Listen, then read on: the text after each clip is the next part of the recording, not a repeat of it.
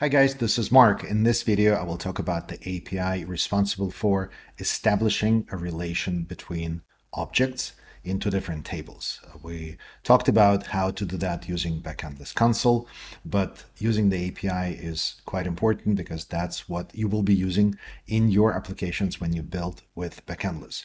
So establishing a relation between objects is, is different than establishing a relation between tables. When you create a relation column, you sort of declare that objects in one table can be related to objects in another table through the column that you create, a relation column. So that, that linkage is sort of like a skeleton, but creating the actual link between the objects, what you do is you say that a specific object in one table is related to another object in another table and uh, and here we will be uh, talking about one-to-one relationships but for one-to-many it will work very similarly. So here uh, let's take a look at uh, the, the, schematics uh, in the slide of how this works and then we will take a look at the, at the actual example as well. So consider that we have two tables order and customer and these two tables are related through a relation column called customer. Let's say it is a one-to-one -one relation. And this just declares the structure. The actual objects inside of these tables, let's say they're not related yet. And then the API that I will describe is responsible for establishing that link. So in addition to just having the relation column, we know that every single object in the order table and every single object in the customer table, they have object ID that uniquely identify uh, corresponding objects. And then our goal is to somehow figure out how an object from customer would relate to a specific object in order, uh, in the order table. So in order for that to work, there are four pieces of information that you need to have when you use the uh, API to set a relationship. So these are the name of the parent table. So the parent table is the one that declares the actual relation column. So in this case, since the customer column is declared in the order table, the order table becomes the parent table.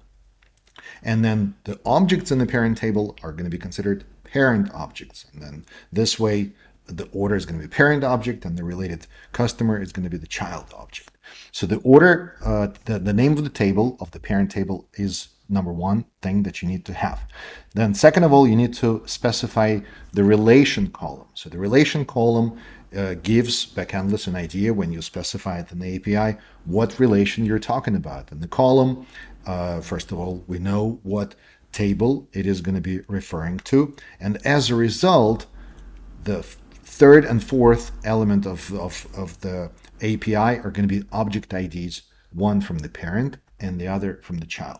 So by having these four uh, elements in the API call, you can build a relationship between, in this case, order and customer. And once this API is done, then the object in the order that you identify with this object ID will be related to a specific customer that is identified by this object ID.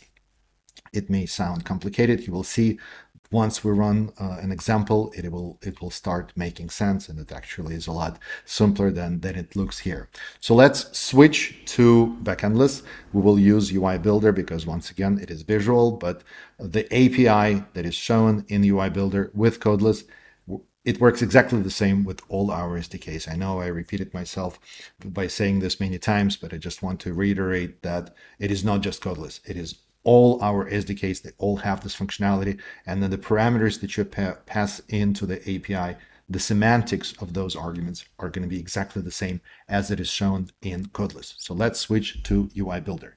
So we're back in Backendless console. Let's switch to front end and UI Builder opens up. And in here in UI Builder, we will create a new page. So there is a page that is deployed, a page template that is deployed in uh, Backendless Marketplace. That page template assumes that you have that sample data that you installed, I believe in lecture 14, that works with customers, orders, reviews, and so on. So for this, uh, move the mouse over here, click New Page, switch in the Create from dropdown to Marketplace. You will need to locate uh, a template lecture 33 set relation API lecture. Give it a name, let's call it set relation, and click create. So now we have this UI, and the UI is fairly simple. It is a, a new order form. And uh, before we run this page, let's step back into the database just to see, to remind ourselves what the order table schema is and how it uh, has the relationship declared. For this, let's go back to backend. Order table is selected. Let's go to schema. So in here, notice that the columns that we have, there are two relationship columns. One is customer, and it is a one-to-one -one relationship to the customer table. And the other one is product, and, and all other details are, uh, they pertain to the order, such as discount, quantity, subtotal, tax, tax, and total. The actual price of that order comes from the product. So uh, the related product dictates the price and everything else, such as calculating subtotal, tax, and total, is dictated by the price that comes from the product and the quantity that is specified in the order. So that is our structure and the model of this example. Back in UI Builder, Notice that in the form, we do have a drop down where we can select the customer. So we will use that information to establish a relationship for the order that we create with the selected customer. There is also product, and then here this will give us an idea for which product this order is for, and then a bunch of fields where we can specify quantity, we can specify the discount, and the form itself has the logic to calculate subtotal, calculate tax, and total.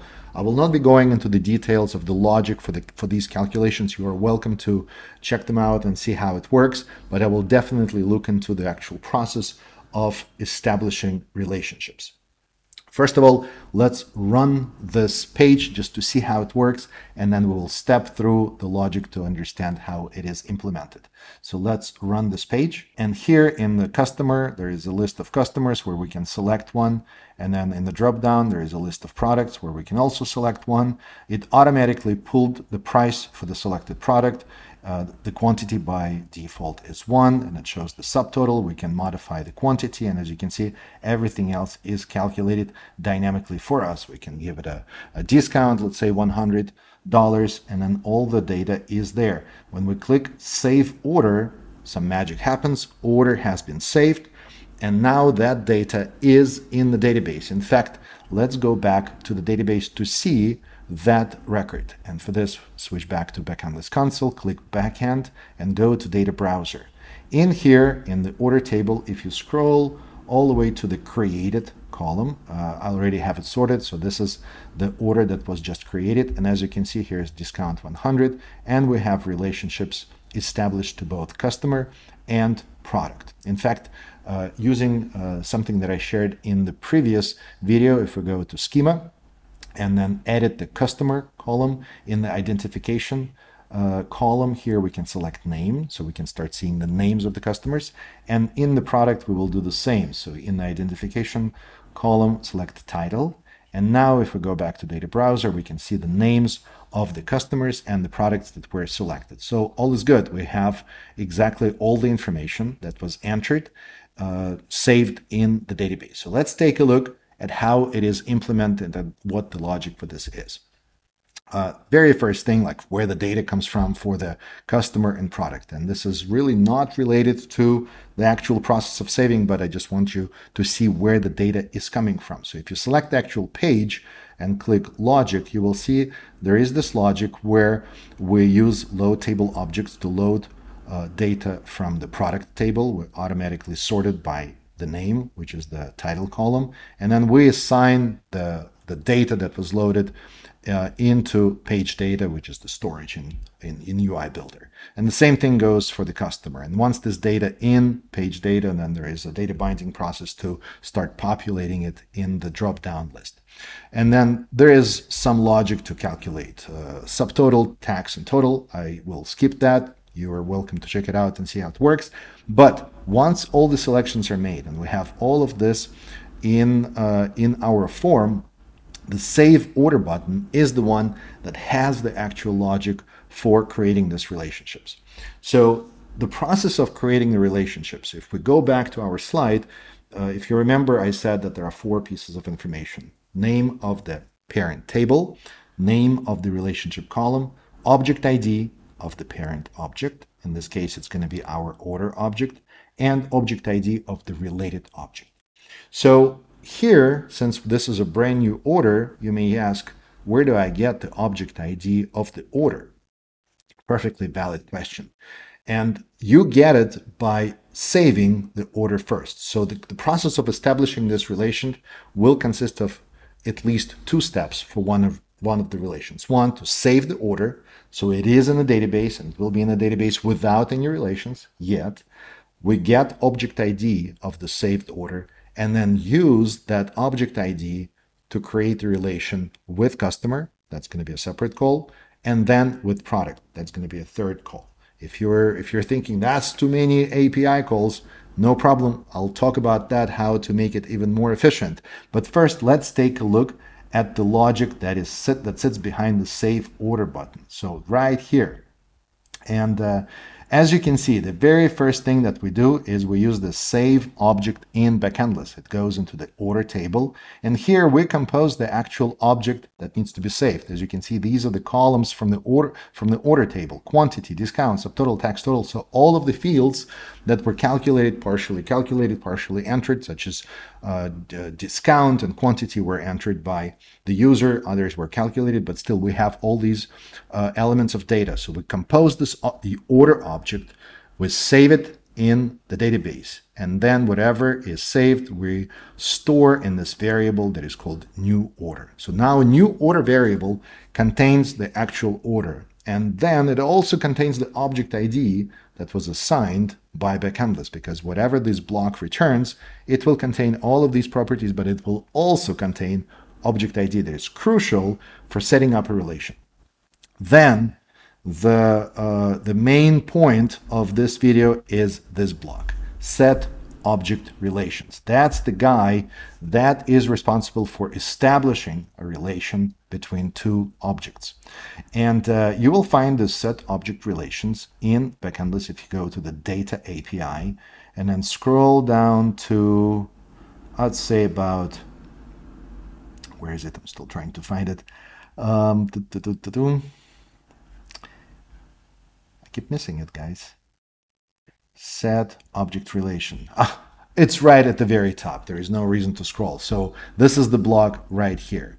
So let's take a look at the parameters that it has. Number one, table name. That's the name of the parent table. That goes back, go, going back to our slide, we, uh, we identified the name of the table.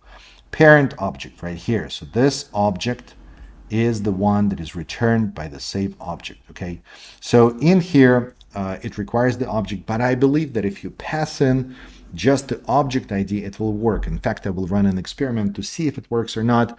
But uh, right now, in this example, I'm passing the entire object. But what all we really care about is the object ID of the parent object.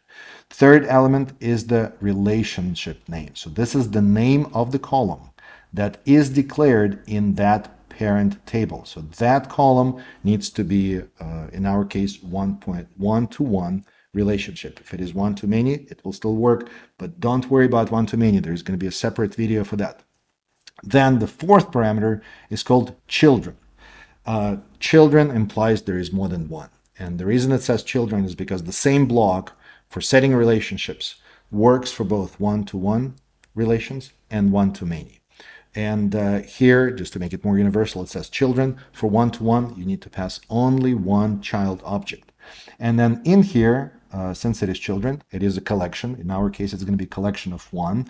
We create a list with the selected customer. And this selected customer is going to be the actual object ID of the customer that was selected. Then we establish this relationship. So by doing this, we will have a relationship between order and customer. And then we repeat the same thing by creating a relationship between our order and the product that was selected in the dropdown. So by the time these two blocks are done, then all relationships that we have in the order table for that specific new order are going to be established. Now, going back to the comment that I made that this is like three different API calls. Is there a better way? Yes, there is a better way. And we will learn about that when we get to a lecture that will be about deep save API. And Deep Save API will uh, appear in this course after we learn about transactions. So it's gonna, it, it will definitely show up and maybe by the time when you watch this video, the entire course is done, it's gonna be there. I just don't know what the lecture number is going to be because to be honest with you, this is uh, not scripted uh, to, to, the very end, which is to continue evolving this course. But anyway, uh, once we learn about transactions, and then we will talk about Deep Save. And Deep Save is that special API where with a single API call, you can just save the whole thing. But we're not there yet. So right now it's just taking more or less baby steps. So this is this is what uh, what it does. Now I mentioned that we want to try to see if this parent object accepts object ID. And for this, let's actually make this change. I did not plan on doing this. This kind of came to me as I was uh, describing this. So what we will do is we will get property uh, object ID from our order, object ID, and we will use this property as the reference to the parent object. So let's see if that works without any errors. Let's rerun this page and we will just create a brand new order. So let's select a customer, select a product, uh, specify quantity. Let's say it's going to be 10 just so we can see it in the database. Give it a discount and click save order. All right, so order has been saved. I think it worked. In fact, if I, uh, I cannot open network because it will not show anything that has already been done. So uh, let's go back to the database and see if that order has been saved. Yes, indeed. So this is the uh, the order with uh, quantity 10, discount 10, and these are the relationships to the customer and to the product. So this means that in this API that we have reviewed, when we reference parent object, you can pass either the entire object or just the object ID property right here in the reference to the parent object. So either way will work. That's it. Uh, it it looks complicated, but it really is not. Once you really understand what's required to pass into these arguments in order to establish a relationship. This is set relationship where you just need to establish a relationship between two objects in one-to-one -one relationships. There are, there are going to be some consequences of using this API for one-to-many, but one-to-many is something that is coming next. I hope this was useful. Thank you for watching this video. And as always, happy coding.